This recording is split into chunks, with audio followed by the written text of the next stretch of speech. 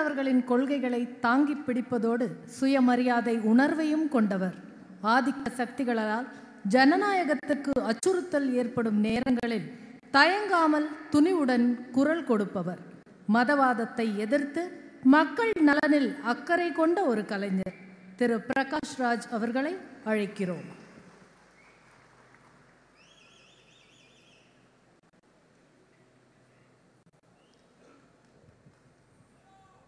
எல்லோருக்கும் வணக்கம்.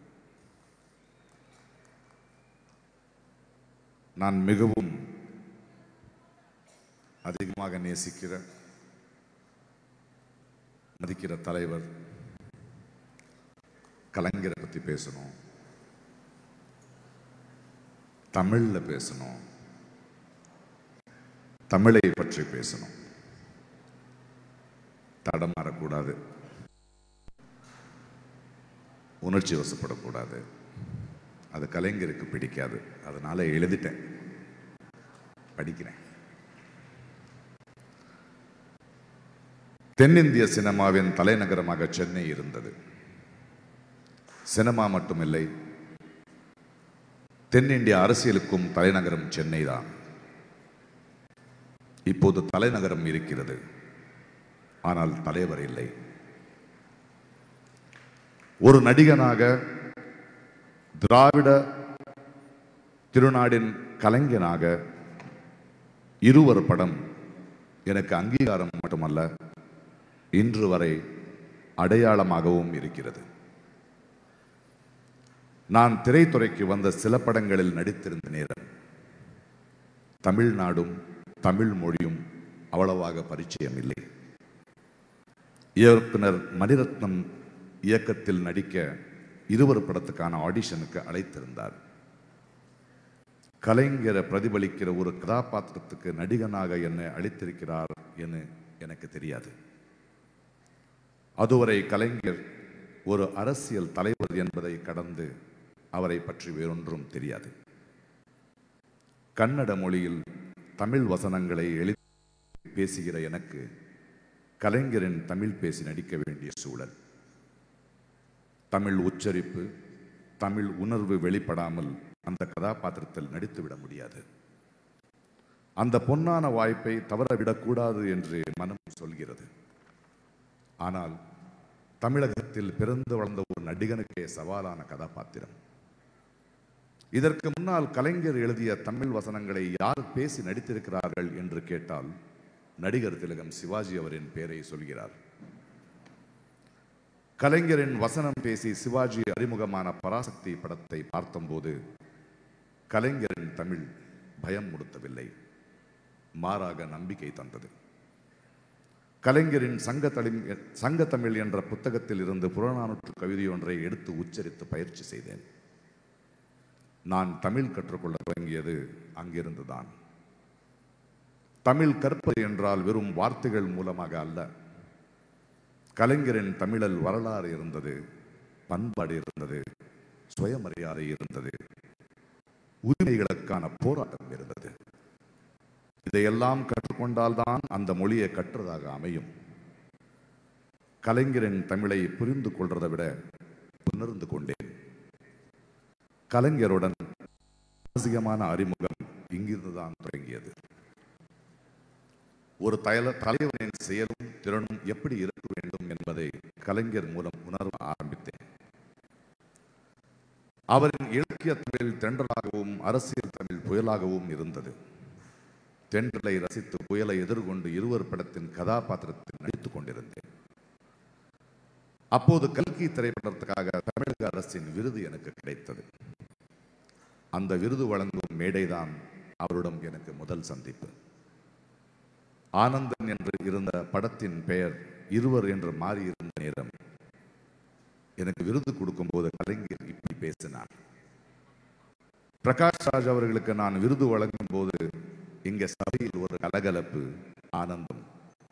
அதற்கு காரணம் எனக்கும் தெரியும் அவருக்கும் தெரியும் நாம் இருவருக்கும் தெரியும் என்று சொன்னதும் அரங்கமே கைத்தட்டலில் அதர்ந்தது இப்படி நல்ல விதமாகவே தொடங்கியது எங்கள் இருவருக்கும் ஆன சந்திப்பு. இருவர் படம் வெளியான பிறகு கலைஞரிடம் இருந்து ஒரு தொலைபேசி அழைப்பு வரும் என்று காத்திருந்தேன். ஆனால் அவர் அழைக்கவில்லை. கலைஞர் தமிழ் பேசியதால் எனக்கு தேசிய விருது கிடைத்தது. ஒரு நடிகனாக இந்தியா முழுவதும் அறிமுகனானேன். ஆனால் எனக்கு தமிழக அரசு விருது கிடைக்க யாருடைய தமிழ் பேசி நடித்து நடித்தேனோ அவருடைய கையால் விருது கிடைக்கும் என்று எதிர்பார்த்து காத்திருந்த எனக்கு ஏமாற்றவே பரிசமாக கிடைத்தது தமிழக அரசின் விருது அரசியல் விருதாகி விட்டது என்ற ஆதங்கத்தில் பேட்டி கொடுத்தேன். முதலமைச்சர் கலைஞருக்கு என் கருத்து வருத்தம் உண்டாக்கியது. நண்பர்கள் அவரை நேரில் சந்திக்கும்படி வலியுறுத்தினார்கள். என் ஆதங்கத்தின் நியாயம் அவருக்கு புரியும் என்று சொல்லி மறுத்துவிட்டேன். அந்த ஆண்டு விருது வழங்கும் விழாவில் கலைஞர் மீனா எனக்கு நான் மீனவர் அமைச்சரா? என்று அவர் பாணியில் பதில் கொடுத்தார். அதற்கு நானும் கலைஞரின் கோபம் குழந்தை கோபம் கலைஞருக்கு அது நன்றாக புரியும் என்று பதில் கொடுத்தேன். இதற்கு இடையில் என் மகனின் மரண செய்தி கேட்டு ஆறுதல் கடிதம் எழுதினார். சில ஆண்டுகள் கழித்து சென்னை சங்கமம் நிகழ்வில் அவரின் புறநாட்டு தமிழை ஒருங்க நாடகமாக அரங்கேற்றும் வாய்ப்பு கிடைத்தது.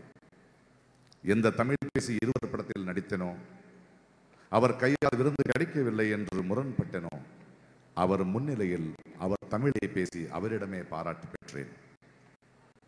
நான் வசதம் எழுதும் போது இதை சிவாஜி கணேசன் பேசி நடிக்க வேண்டும் என்று விரும்புவேன். இப்போது சிவாஜி இல்லை. அந்த குறையை பிரகாஷ்ராஜ் தீர்த்து வைத்தார் என்று பாராட்டு பல விருதுகளுக்கு சமம். தமிழகத்தின் முதல்வர் இந்தியாவின் முக்கியமான அரசியல் தலைவர் பெரியாருக்கு பிள்ளை அண்ணாவுக்கு தம்பி தொண்டர்களுக்கு தலைவர் என் போன்றவங்களுக்கு கலைஞர் என எல்லா ரூபங்களிலும் அவர் தனித்தே தெரிந்தார். நான் எப்போது நினைத்தாலும் சந்திக்கக்கூடிய நெருக்கத்தை அளித்திருந்தார். அவருடன் சில நாட்கள் அதிகாலை நடைப்பயணம் மேற்கொள்ளும் வாய்ப்பும் கிடைத்திருந்தது. எப்படி தமிழை நீ இவ்வளோ அழகாகி உச்சரிக்கிறாய்? என்று அவர் கேட்கும்போது சத்தம் தான் என்னுடையது உணர்வு உங்களுடையது என்று நான் சொன்னேன். குறும்பு சிரிப்போட தட்டி ஆஸ்திரேலியாவில் இருந்தபோது அவரின் மரணம் செய்தி வந்து சேர்ந்தது. முரண்பட்டாலும் அன்பு காட்டுகிற பெருந்தன்மை கொண்ட கலைஞரின் சரணமற்ற முகத்தை தொலைக்காட்சியின் வழி பார்த்தபடி தனியா அழுது தீர்த்தேன். வாழ்க வாழ்க வாழ்கவே கலைஞர் புகழ் வாழ்கவே என்கிற தொண்டர்களின் வாழ்த்து கோஷம் அவர் இறந்து விட்டார் என்பதை நம்ப முடியாமல் செய்தது. என்னையே அறியாமல் என் உதடுகளும் வாழ்த்தை உச்சரித்தது. நான் நேரடியாக அரசியல் பேசுவேன் என்று நினைத்து கூட பார்த்ததில்லை. கலைஞர் பேசிக் கொண்டிருந்த வரை அந்த அவசியம் என் ஏற்படவே இல்லை என்பதை அவரின் மறைவுதான் உணர்த்தி இருக்கிறது ஒரே நாடு ஒரே மொழி ஒரே மதம் என்று மாற்றிவிட துடிக்கிற அத்தனை பிரிவினை சக்திகளையும் அவர் எதிர்த்து நின்று நம்மை பாதுகாப்பிருப்பதை கலைஞர் வெற்றிடமே புரிய வைக்கிறது. கலைஞர் மௌனித்த பிறகுதான் என்னை போன்றவர்களின் மதவாதத்தை எதிர்த்து பேசத் தொடங்கிவிட்டோம். அவரின் நிழலில் பாதுகாப்பாக இருந்திருக்கிறோம் என்பதை அவரின் மறைவுதான் கன்னத்தில் அரைந்து உணர்த்துகிறது ஒரு கலைஞன் தலைவனாக இருந்தால் ஒரு நாடும் சமூகமும் எத்தகைய உயரங்களை தொடும் என்பதற்கு கலைஞர் வாழ்ந்த காலமே சாட்சி.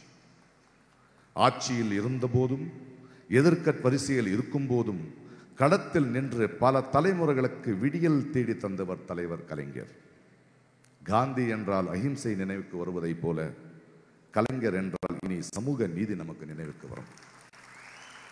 சுயமரியாதையோடு கூடிய சம வாய்ப்பு அனைவருக்கும் கிடைக்க வேண்டும் என்று நினைத்து அந்த லட்சியத்துக்காகவே தான் வாழ்நாளை அர்ப்பணித்த ஒரு தலைவன் நமக்கு கிடைத்தது வரம்.